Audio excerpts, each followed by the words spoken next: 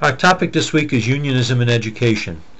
Teacher unionism has a long history, having evolved more than 100 years ago with organizations such as the National Education Association that functioned more as a professional association than as a labor union.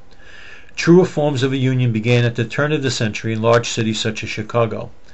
In the 1960s, Albert Shanker, as the newly elected head of the United Federation of Teachers in New York City, led several strikes that established in the minds of elected officials the power of the union. During the past three decades, unions such as the NEA and the AFT-UFT have been influential by generally serving as important allies and supporters of the Democratic Party. For example, during the New York City mayoral primaries in 2001, Randi Weingarten and the UFT originally supported Alan Hevesi, switched to Fernando Ferrer during the runoff election, and finally supported Mark Green. In 2005, the UFT formally did not endorse either candidate Republican Michael Bloomberg or Democrat Fernando Ferrer for New York City mayor, although this was interpreted by many political observers as a tacit endorsement of Bloomberg.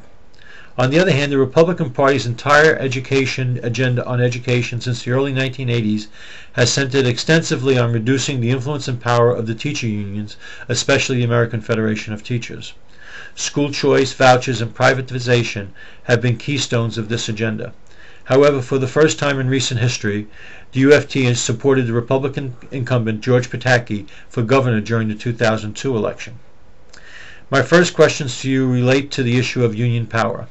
Do you support the aggressive nature of the NEA and the AFT-UFT in supporting political candidates? Has this served their membership well? More importantly, has it served the children of the schools well?